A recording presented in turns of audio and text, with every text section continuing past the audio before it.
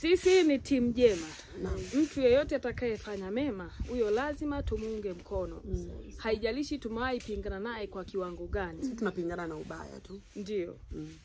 Mtu yeyote akifanya ubaya lazima tupingane naye, na sisi tukifanya ubaya mtu atapingana na sisi. Amen. Lakini sisi, mtu yeyote atakayepambana kuishi ama kuwapa watu jukumu la kutaka kutenda mema ama kusimama katika mema, huyo lazima tuwe pamoja naye.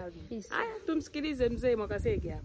Ni vigumu sana kumwambia mtu aliyeumia nyamaza na akanyamaza, kwa sababu wewe unayesema nyamaza hujui ameumia kiwango kipi ndani.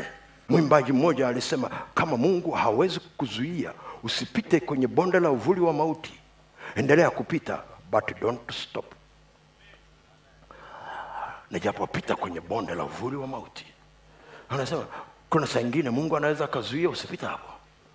Lakini akiamua kupita kupitisha endelea kupita kwa sababu bado ni mchungaji mwema. Don't stop usije ukasimama njiani kwa sababu hajakupitisha hapo ili usimame njiani.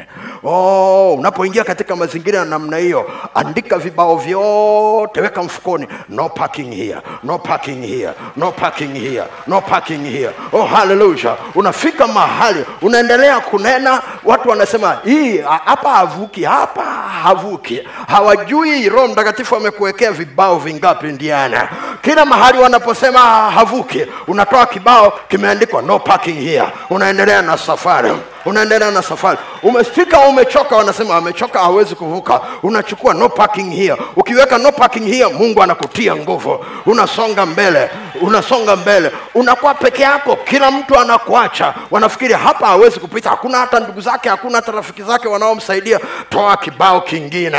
Unaweka no parking here. Wakina anania watatokea kukusaidia. Oh haleluya haleluya oh watatokea watu kukusaidia ambao hukutarajia. Kwa sababu ndani yako humwoni shetani. Unamwona bwana mchungaji mwema.